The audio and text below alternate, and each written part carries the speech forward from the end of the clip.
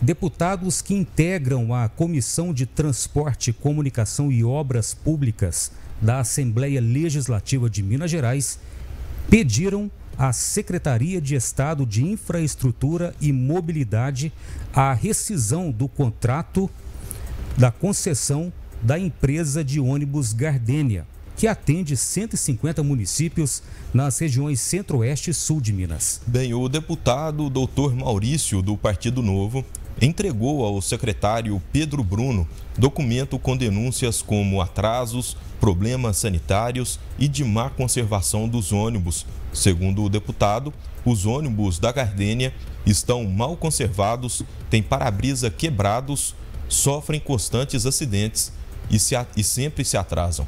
O secretário de Estado de Infraestrutura e Mobilidade do governo de Minas, Pedro Bruno, afirmou que a empresa Gardênia já preocupa o governo, porque tem vários contratos com o Estado e tem sido uma das viações com maior número de reclamações. Só em 2023, neste ano, segundo Pedro, a Gardênia passou por 66 vistorias, que resultaram em 365 notificações de irregularidades a serem corrigidas. Agradecer ao secretário Pedro Bruno, da Ciinfra, que está nos atendendo aqui mais uma vez nessa audiência que nós marcamos para resolver o descaso da Gardênia com a nossa população. A, a, a empresa Expresso Gardênia já há mais de 10 anos tem sido questionado pelos deputados, pelos prefeitos da região, que a população tem sido sacrificada. Primeiro com a má qualidade dos ônibus, problemas sanitários, problemas mecânicos, acidentes, atrasos, pessoas que precisam de uma consulta, atrasa duas, três horas, perde a consulta, perde o procedimento hospitalar. Então chegou a hora de tomar alguma atitude. E nós viemos aqui atrás do secretário, como deputado estadual, dizer que nós chegou a hora de fazermos a caducidade, que reza do contrato de concessão. Quando a empresa não cumpre o contrato, pode ocorrer a caducidade e, se for o caso de ocorrer a caducidade, que faça uma nova licitação com pelo menos duas empresas, para que tenhamos a concorrência pública. Senão a empresa pode cair de novo nesse descaso que está acontecendo com a Gardenia. Então agradeço o secretário que nos recebeu com muita cortesia, secretário.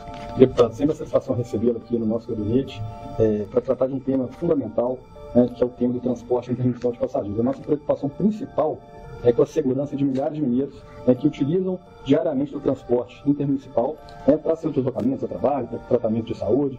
É, então, é, hoje eu recebo muita responsabilidade a demanda do senhor. Né?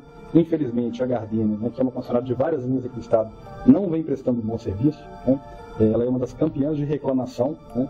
E nós temos adotado, né, desde que assumi aqui, intensificadas as ações de fiscalização. Então, apenas no ano de 2023, já fizemos 66 fiscalizações à Gardenia, né, mais de 300, para ser preciso, 365 notificações por itens que não estão cumprindo né, a previsão contratual.